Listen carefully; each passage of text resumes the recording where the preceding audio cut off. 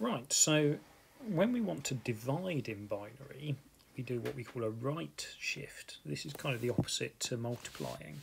Now, one thing to bear in mind when we right shift is because binary doesn't have decimals in, we might not get a result that's 100% accurate. Okay, so we'll have we'll test that out. I've got here the binary for 41. Okay, so 32 plus 8 plus 1. So what we're going to do is we're going to right shift this number and see what happens. So this is what we do. We get our numbers and let's say in this case we want to divide by 2. Okay, we want to divide in half. So what we do is we right shift by 1. Okay, it's the kind of opposite to what we did with multiply. So I'm going to get these numbers and right shift them by 1. So this will divide the number in 2. Okay. Now, you can see here a couple of things. Firstly, we've lost a 0 from 128. We don't have to worry about that too much, but if you want to, you can put a 0 in just to make things a bit clearer. But what we've got is this number here that's been knocked off the end. So when we divide, what happens is this number is actually deleted. Okay, it's gone.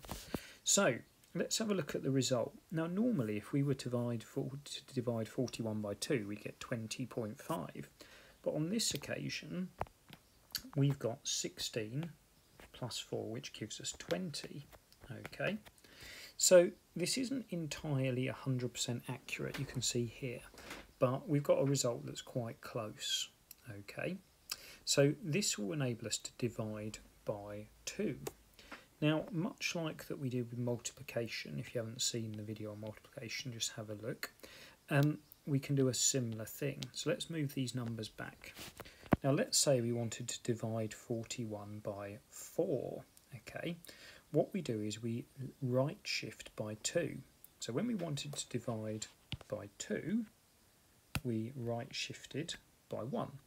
If we want to divide by 4, we have to right shift by 2. Okay, so let's do that and just see what happens.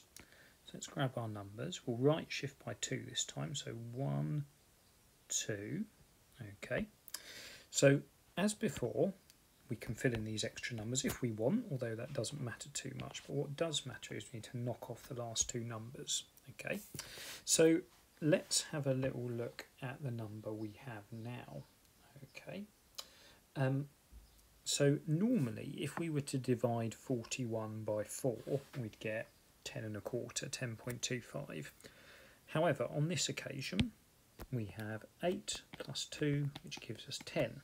So you can see the result's close, but it doesn't give the decimal. Okay. Now the same would be true if we wanted to divide by 8. I won't do this because um, you can imagine how to do it. We right shift by 3 okay and that will give us the answer if we were to divide this number by 8 but again it won't be the exact number because of the um, decimal places. Okay so when you're dividing very straightforward. You just right shift the number and knock off any number that goes beyond the one there. Okay